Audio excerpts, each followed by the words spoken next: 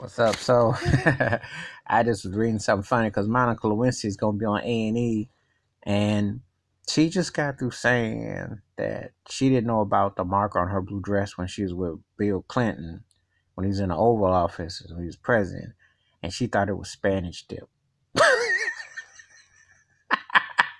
okay, excuse me for a minute. I had to laugh because okay. So I'm like, yeah, okay, that's Spanish dip. Okay, okay, not quite.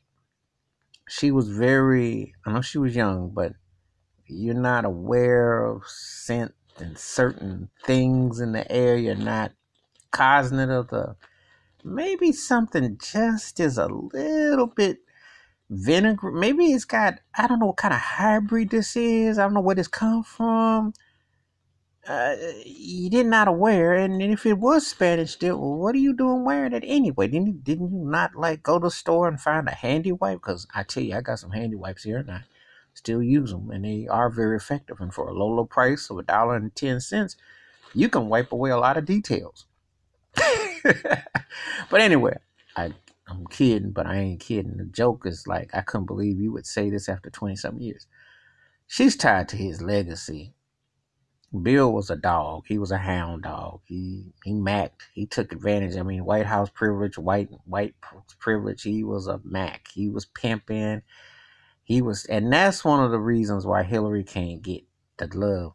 Hillary got robbed you know but one of the things that works against is that last name and in politics it's pun intended it's very stained because um, it's not you know because of all the foolery and he did get impeached that's just cut he sat there and he lied even though Kenneth Starr wasted $40 million of taxpayers' money because it was not going to stick. Everything I'm saying right now is like a pun, and it's just too hilarious. It's too, it just play on words. But Monica Lewinsky, come on now just say that you know this is what happened and it was an episode and a time period but don't keep regurgitating this situation because everybody know but to sit there and say that it was spanish dip on your dress and you're with bill clinton at least leave something to imagination. Don't just say stuff like oh i didn't know.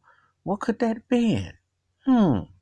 You know it took you to go to a party for people to notice that and it was all out there, and the dress got shot up, and like you don't go to cleaners, you don't get a handy wipe, get a get a wet cloth. Don't you like? What are you doing? You just like I don't know, but it's definitely blown and taken a life of its own twenty some odd years later. Bill Clinton does owe that woman an apology, and he should have been more tactful, but you know, Bill old country pimp, old country boy player, so he just didn't think, and he's you know, and that's what happens when one is led by other things, that's what happens. So that's my take on hearing this story because I saw it read it today, and she's gonna be on A and E. They're gonna have some type of weekend special, and when I read it, I was laughing, and I still am because I'm like, okay, Spanish dip. That's that's a new one. All right. Feel free to leave them comments, hit that subscribe. I'm out. Peace.